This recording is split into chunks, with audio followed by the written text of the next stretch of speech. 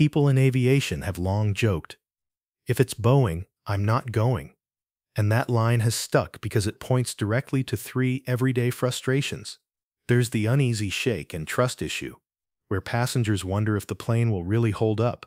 Then there's the frustration of flights ruined by long maintenance holds that knock entire schedules off balance. And of course, there's the deafening noise of traditional turboprops that makes early morning and late night departures nearly impossible. Against that backdrop, Elon Musk has been preparing something entirely different, Tesla's 2026 super electric plane. And unlike the empty promises many have made before, this aircraft is positioned as the real game changer. It addresses exactly those frustrations that have defined short-haul flying and could mark the true beginning of the end for Boeing in the regional market. Musk himself once hinted that the exciting thing would be to build an electric vertical takeoff and landing jet, something supersonic, something that doesn't need a long runway, something that simply lifts straight up into the sky. That idea of practicality blended with vision is what Tesla is chasing. Instead of overcomplicating things, they're keeping the promise tight, realistic, and useful. A compact aircraft designed for 4 to 12 passengers, built to serve community routes of up to 500 miles. The turnaround is just 15 minutes thanks to modular battery swapping, which means planes fly more and sit less. The electric motors are nearly silent, opening the door for early morning and late-night flight slots that noisy turboprops have been barred from for decades. And because there are far fewer moving parts compared to traditional aircraft, this machine promises factory-like consistency instead of the drama of hangar delays. For everyday travelers, the difference will start in the space they touch. Instead of cramming people into awkward layouts, Tesla's cabin is designed around smart seating ratios, 1 to 1 or 2 to 1 arrangements that keep the aisle wide enough, 18 to 20 inches, so passengers can actually move comfortably without knocking elbows. The boarding process, too, gets a major upgrade. A large, low-positioned door combined with a short step height turns what is usually a small workout into something you can do with one hand while holding a bag. That same 50 by 50 inch opening is wide enough to swallow standard cargo tubs, and even medical stretchers up to 24 inches wide.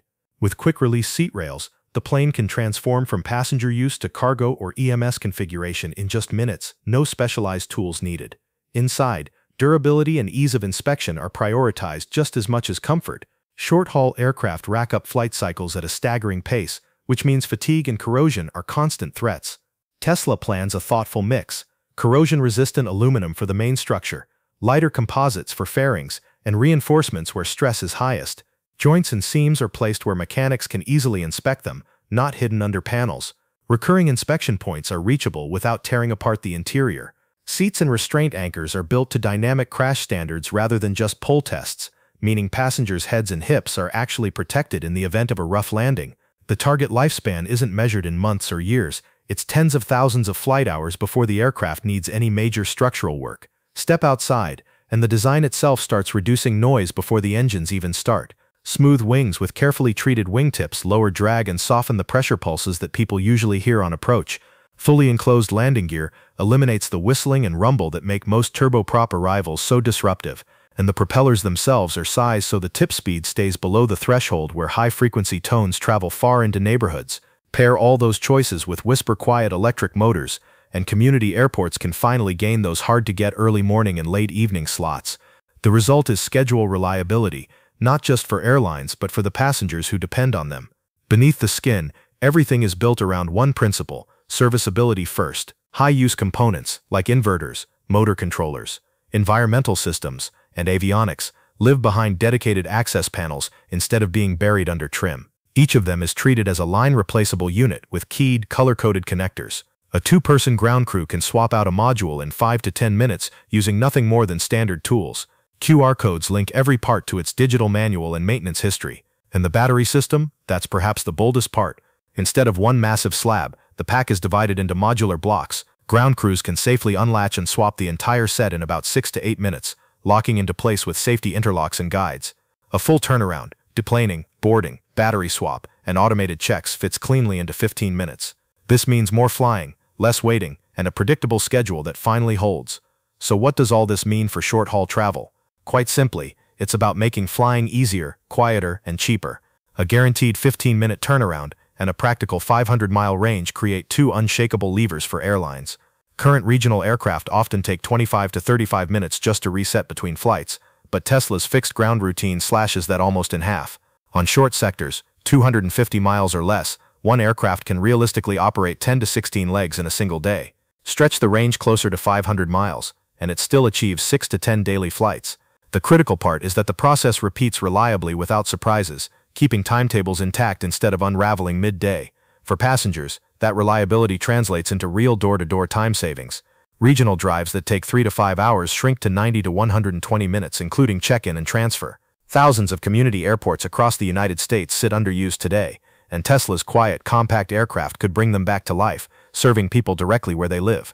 Add in quiet motors and aerodynamic shaping, and suddenly early morning and late night slots become legally viable, expanding travel options without clashing with noise regulations. More hours, more flights, better punctuality. Operating costs also shift dramatically. Traditional turboprops burn through 50 to 70 gallons of fuel per hour, costing $225 to $415 just for fuel, before even considering oil and engine wear. Tesla's direct-drive electric motors avoid gearboxes entirely, cutting out vibration, moving parts, and complicated inspections. Efficiency levels of 90 to 95% mean that nearly all of the stored energy turns into thrust instead of wasted heat. Even with four independent motors, one can be shut down mid-flight without compromising safety, keeping minor faults from ruining entire schedules. On energy, Tesla targets pack densities of 360 to 380 watt-hours per kilogram, totaling 600 to 900 kilowatt-hours of usable energy. That equates to the power of 6 to 9 long-range electric cars, but in an aircraft form factor weighing under 3 tons. Liquid cooling keeps the battery stable between 15 and 35 degrees Celsius, while the battery management system carefully controls charge cycles to stretch usable life to 1500 to 2000 cycles, enough for years of daily service. During the day, crews swap packs in minutes to keep flying. Overnight, DC fast charging at 600 to 1000 kilowatts restores full energy in 36 to 60 minutes, when time and electricity are both cheaper. And because the electronics are built fault-tolerant, with dual inverters and split DC buses, small glitches don't cascade into big failures. Any issue is isolated to one branch, while line-replaceable modules can be swapped in minutes. The result, downtime measured in minutes, not days. Energy costs are the clincher. At U.S. electricity prices of 12 to 18 cents per kilowatt hour, a one-hour flight consumes 24 to $54 in direct energy. Compare that to hundreds of dollars in jet fuel for the same distance, and the savings become undeniable. Even after factoring in battery depreciation, Tesla projects operating costs 15 to 25% lower than turboprops after just a year or two of steady service. But this is about more than just maintenance or energy bills. It's about unlocking a structural shift away from legacy aircraft in short-haul markets. Tesla's plane thrives on underserved community-to-city corridors. With its compact 4 to 12-seat cabin, ultra-fast boarding, and consistent 15-minute turns, it can operate like a shuttle, frequent, reliable, and priced for everyday use. Off-peak hours open opportunities for cargo or emergency medical service runs, made possible by the easy reconfiguration of the cabin and the quiet all-electric operation. Consider the economics. On a 500-mile leg with 10 seats and an 85% load factor, the aircraft carries about 9 paying passengers. Cruise time is around 2.5 hours at 200 miles per hour. Energy consumption is roughly 650 kilowatt hours, costing just $78 at night rates. Add $20 to $40 for small airport landing fees, plus $35 to $55 for routine wear and maintenance, and the total direct cash cost per flight falls between 133 and 173.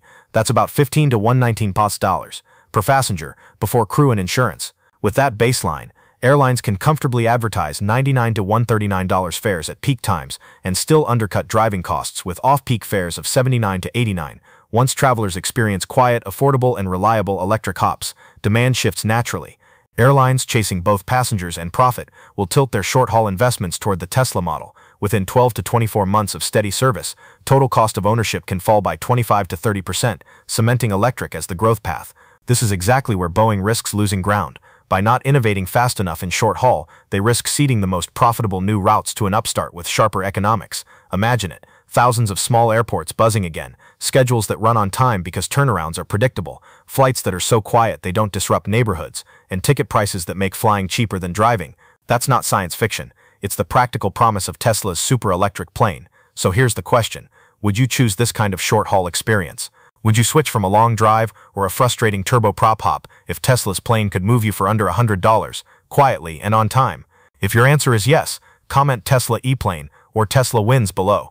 And if you want more detailed coverage like this updates, route breakdowns, and cost checks, subscribe to Westech and help us reach our next milestone of 175,000 subscribers.